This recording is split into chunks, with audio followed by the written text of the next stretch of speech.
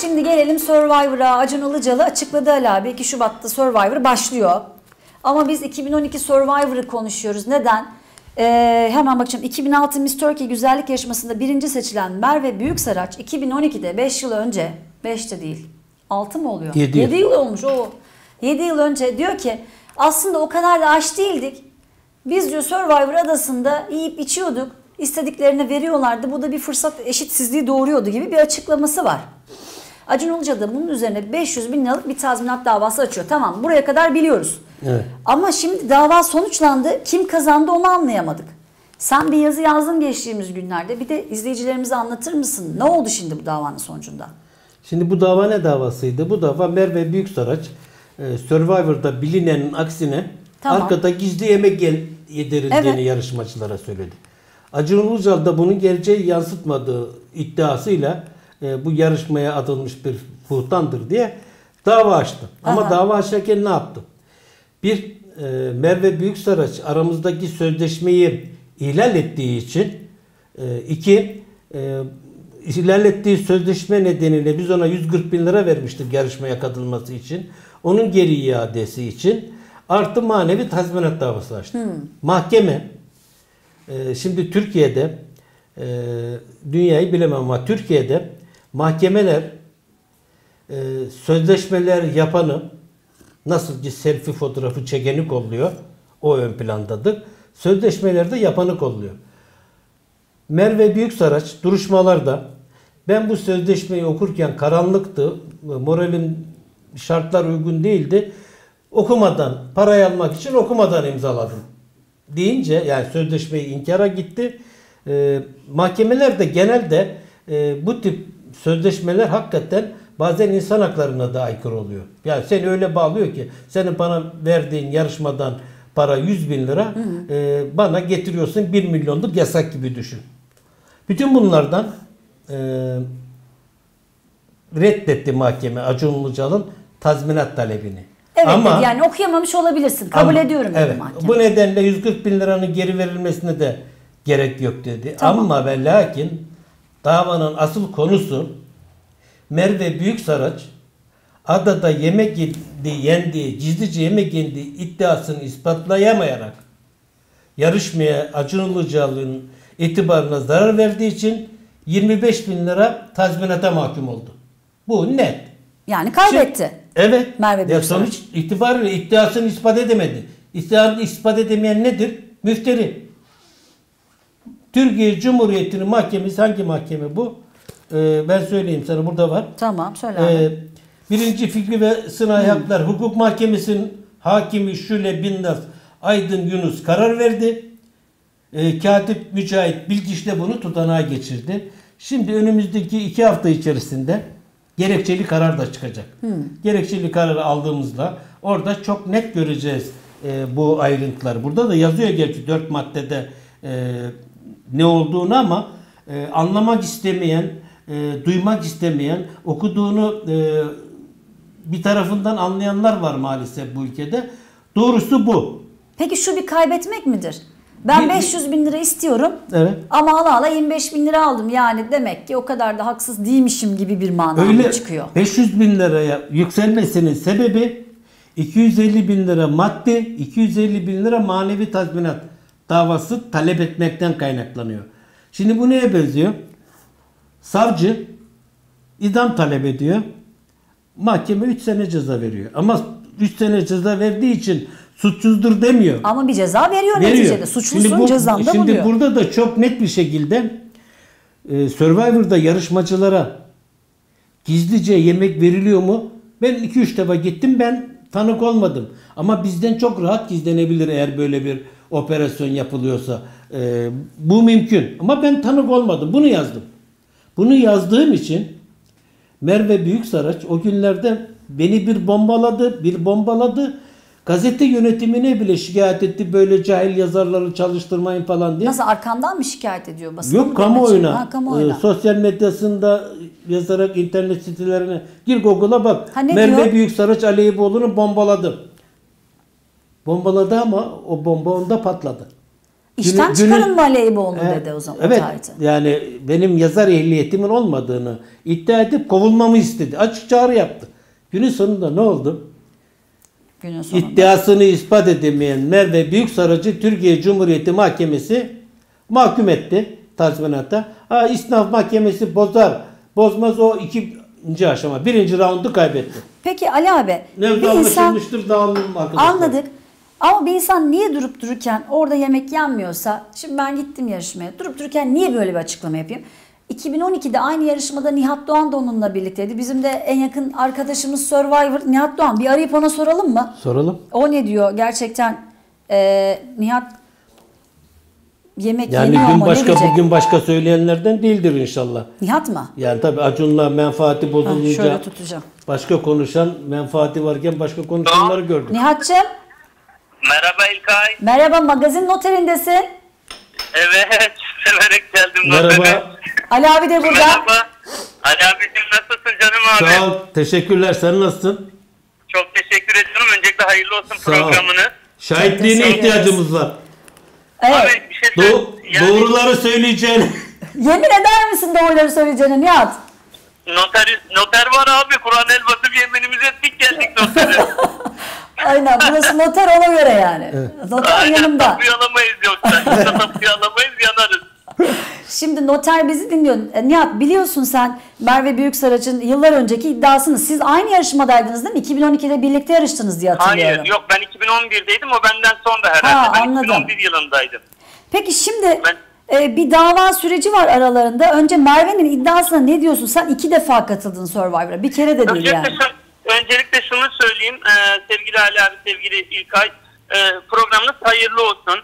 Çok e, yeni bir soluk aslında e, belki de televizyonların döneminin bitip yeni bir çağ, teknoloji çağı yani sosyal medya çağının başladığı bu noktada bu zamanda böylesine bir YouTube kanalı açmak suretiyle böylesi bir programın yapmanız çok doğru karar oldu.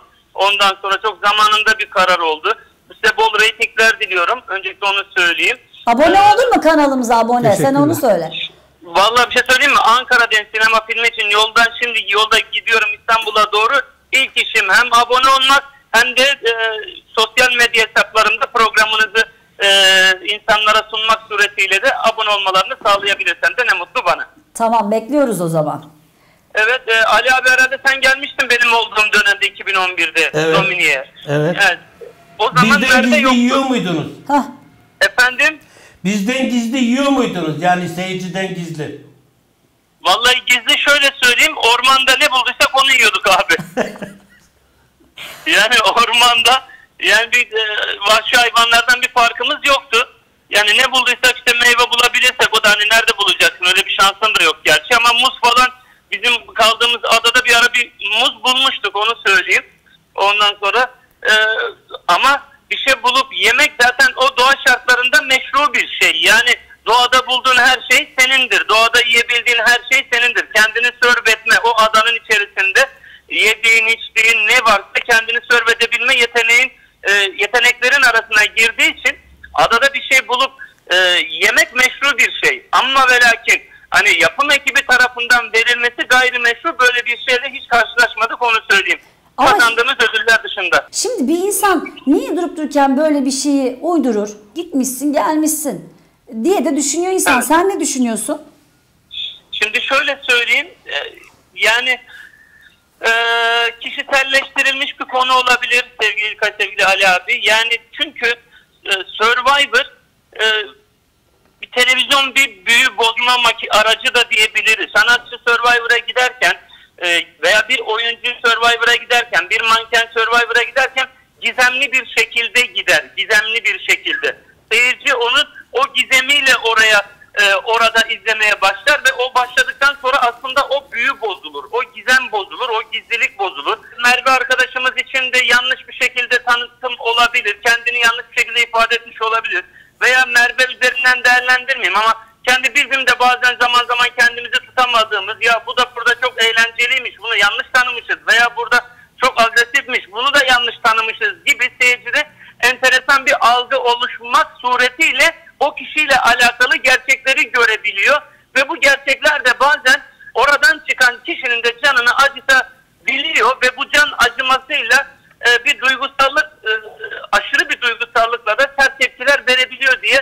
düşünüyorum. Yani Bu şekilde- umduğunu bulamadı, maskesi düştü de ekibe mi saldırdı? Acun Ilıcalı'ya mı saldırdı Ya, diyorsun? ya bazen insanlar sert tepki verebiliyor. Ben ne yapayım yani ben de gittim şimdi 6. 7. haftada elendim geldim. Şimdi Acun'a mı saldırayım yani? He şu olabiliyor Efsane yani. sözlerinden biridir Nihat'ın. Burası Efendim, Survivor. Burada her şey gerçek. Orası Evet Survivor. evet onu söyledim. Evet. Ali abi ben bilmiyordum. Yani o söz gerçekten Survivor'ın bir felsefik bir sözü oldu. Sur- Ben oraya makaraya gideceğiz zannediyordum. Ben de inanın orada bizi hani çünkü Survivor'ı izlemiş ve o an için Türkiye'de Survivor algısı çok fazla oluşmadığı için ben de dedim herhalde bize orada yedirecekler, içirecekler. Otelde yatacağız, arada yarışacağız falan zannediyordum. Fakat daha gelir gelmez bizi helikopterden attılar. Vahşi ada şartları efendime söyleyeyim iner inmez ya kardeşim karnımız acıkıyor. Ne yemeği dediler ya. Yani biz oto, otelimiz nerede dedik. Ne oteli adada yaşayacaksınız. E nereye biz affedersin tuvaletimizi yapacağız.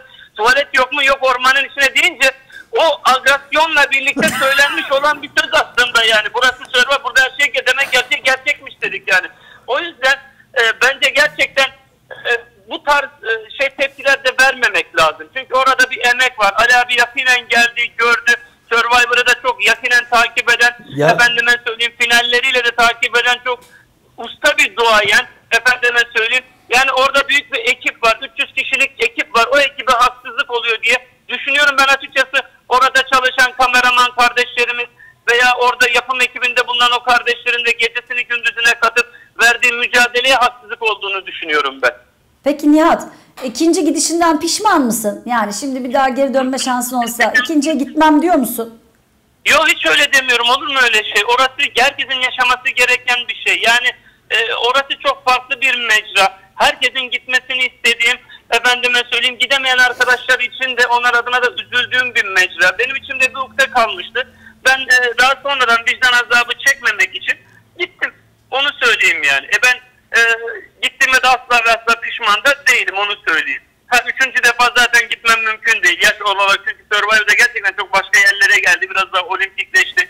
Milli sporcuların olduğu efendime söyleyeyim. Ha buna da tam onay veriyor muyum? Vermiyorum. Yani bence de Survivor bir olimpik bir spor haline getirilmesi benim ben e, benim eleştiri ise bu şekilde bir eleştiri olması lazım.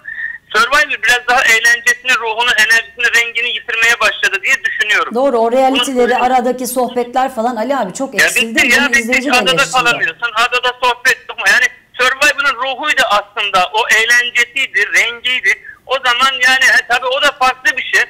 Bilmiyorum bu eğlencenin, rengin oluştuğu farklı bir formata döner mi, dönmez mi? Çünkü a, Acun Bey'in yaptığı Exatlon, Exatlon diye bir e, proje var ki o da dünyada inanılmaz bir çığır açtı. Efendime söyleyeyim yani Survivor'la e, büyük bir rekabet içerisine girdi. E, format sahiplerini panikletti. Hani o biraz daha böyle olimpik bir e, yarışma üzerine kurulu ama Survivor'ın ben mutlak surette o ada hayatının, o ada şartlarının, oradaki efendime söyleyeyim agresyonun veya neşenin, e, dramın daha fazla verilmesi taraftarıyım. Bu eleştiri ise bu şekilde bir olumlu yönde bir eleştirinin getirilmesini daha doğru buluyorum. Peki Nihat, e, bir Nihat Doğan sineması çevriliyor. Bir şeyler paylaşıyorsun sosyal medyanda. Film mi çekiyorsun gerçekten? Ne oluyor? Ya aslında onu ben 2000 e, 2007'de söylemiştim. Bana o zaman işte malum bir ilişki bitmişti falan magazinler. Ha, Nihat Doğan bitti mi falan diyorlardı. Ben hayır Nihat Doğan sineması daha yeni başlıyor demiştim. Ondan sonra bu Nihat Doğan sineması hep dillere pelesenk oldu. O zaman da film sinema teklifleri geldi fakat ben e, işte Survivor vesaire e, televizyon projeleri falan bir türlü o, o boşluğu bulamamıştım. Bir de istediğim bir karakteri yansıtma teklifi e, şansı gelmedi bana açıkçası. Ondan sonra oturdum ve şimdi e, uzun bir e, fırsatım var, zamanım var. Güzel bir sinema filmi çekmeyi düşünüyorum. Allah tamamına erdirsin diyeyim. Senaryosu bitmek üzere. Bu hafta bitiriyoruz. Casting çalışmalarımıza başladık. Onu söyleyeyim. Allah nasip ederse de Mayıs'ın başları gibi çekmeyi düşünüyoruz. Peki single Hercai'yi söylüyordun. Bitti, bitti. Single Hercai bitti. Size teşekkür ediyorum buradan tekrar sizin aracılığınızla. Onu da bu ay sonu klibini çekiyorum. Artık daha böyle herhalde kendi sanatıyla gündeme gelmeye çalışan, gündeme gelen e, bir Nihat Doğan görecekler. İşiyle gündeme gelen bir Nihat Doğan görecekler izleyicilerimiz. Onun müjdesini vereyim buradan. Bir de evleniyormuşsun diye duyduk. Doğru mu Nihat? Yani belki yarın belki yarından da şey diyor 3 vakte kadar. Evlilik niyetine girdin galiba. Bir saniye. İnşallah, inşallah, inşallah. Aa buradan da bir müjde vermiş oluruz. Belki yarın belki yarından da yakın diyor Ali abi. Belki, İnşallah onu söyleyeyim. Ee, yani bir kere gerçekten Survivor'ın en büyük ödülünü de ben kazandım diyebilirim. Survivor'da hayatımın kadınını bana e, hediye etti Survivor. Wow. O yüzden de Survivor'a teşekkür ediyorum. Gerçekten en büyük ödülünü ben kazandım. Adem benim arkamdan geliyor. Adem sadece e, parayı kazandı. Ben bir insan kazandım onu söyleyeyim. Her zaman yanımda olan, bana moral veren, akıl veren, fikir veren, benimle dertleşen, uzun süre sonra ilk defa konuşabildiğim, dertleşebildiğim bir insan oldu hayatımda. Bu noktada da çok mutluyum. Ee, Bihsan Hanım'a da çok teşekkür ediyorum. Bu çalışmalarımda bana inanılmaz destek verdiği için. Yani Survivor'ın en büyük ödülünü ben kazandım diyebilirim açıkçası. Bir sen bir ben diyorsun bu dünya. yani yapıyorum sana diyorum hayranım. Öpüyorum. Öyle diyeyim abi. Evet. bir de çocuk. Müstakbel eşinize selam. Evet Nihat. Teşekkür ediyorum abi. Programa da bekliyoruz. Ee, seni daha çok Gülşen Hanım'ın da çok sıkıştıracağız. selamları var. O da ne zaman isterseniz programımıza seve seve katılacağını söyledi. Bilginiz olsun. İkinizi birlikte bekliyoruz o zaman Ali abi. İkisini Evet. birlikte Olur, sıkıştıracağız. Yeni stüdyomuzda yaparız o hamleyi. Aynen aynen bekliyoruz Olur, sizi. tamam. Tamam, Nihat'cığım çok Hepinizi teşekkürler. beklerim. Selamlar, kolay gelsin. Hayırlı olsun tekrar. Bay bay.